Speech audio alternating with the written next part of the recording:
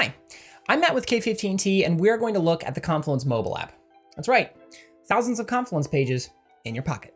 First, we'll run through some of the settings you can customize to make the app work best for you. We'll take a look at the different views in the app you can use to jump right into the page you want to work on. Then we'll check out searching for pages in the app and using a few fun tricks to find exactly what you need. We'll take a look at the page tree and explore how you can create new pages exactly where you want them. We'll explore the editor and see what kind of pages you can create in the palm of your hand. And we'll check out how you can collaborate on the app using at mentions, comments, notifications, and page analytics. So first off, this video shows the Confluence mobile app on Android. So it looks a little bit different than what you might be seeing on iOS, for example you might see features on your app that I'm not showing here. And that's because the Confluence mobile app is like a toddler. Even though it's small, it's changing and growing almost every day. So if your app looks different than the one shown here, that's because it's just getting better. So let's see how you can personalize the Confluence mobile app in the settings. You can pick the Confluence site that you want to use, which is great if you're working in multiple different Confluence sites, you can easily switch back and forth between them. You can also customize notifications. Now there's a few different presets here that might work for you, or you can build a totally custom notification scheme, which is really, really nice. You can also customize the theme here, which is great because I like it dark. That's right, the Confluence mobile app has a dark mode. You can also select the language for the entire app interface. By default, it's the same language that you use on your mobile device. You can set up auto locking, which is cool. So after a few minutes, it will lock you out and you have to use biometrics to get back into your content. Really great for security. And if you want to give really quick feedback to the team on how the Confluence mobile app could be improved, you could enable Shake to give feedback. You know what they say, shaking is caring.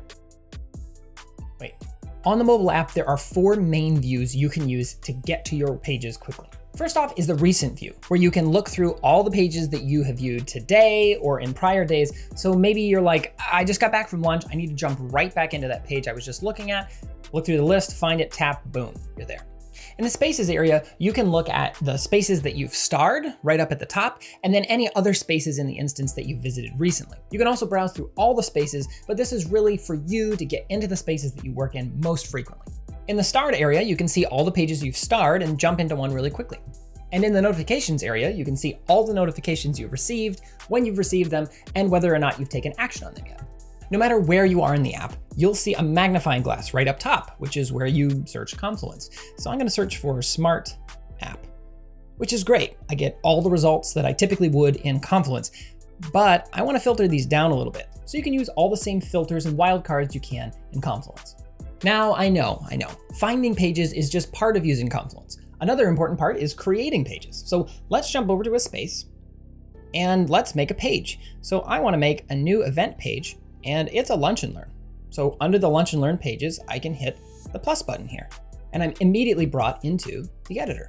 So adding a great page title is always a great way to start a new page. From here, you can add any content on the page you want. In this case, I wanna add an element. So I hit this button here and I can look at all the different kinds of elements that I could add.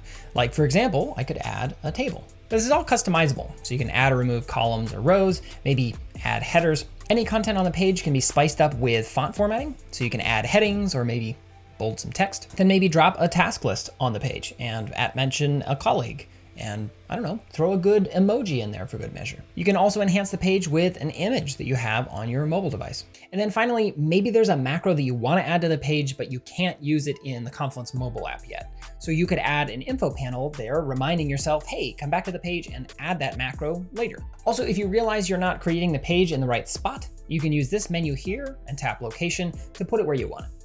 Now I can come into the notifications area and I can see all of the notifications that have come in about my new page. So I can see there's a comment here that I can jump in on. Uh, I can like that right here and I can respond to the question. And also I can tap up here to see who has actually seen my page to make sure that everybody in the company has seen the new content that I've added. So that's it, the Confluence mobile app. So you can collaborate with your teammates from anywhere. But you know, that's just some of what Confluence can do. There is so much more. And at K15T, we are always looking into that. So if you want to learn even more about how to get the best from Confluence, check out our YouTube channel, where we have lots of other videos that continue to explore how to use Confluence to share what you do best.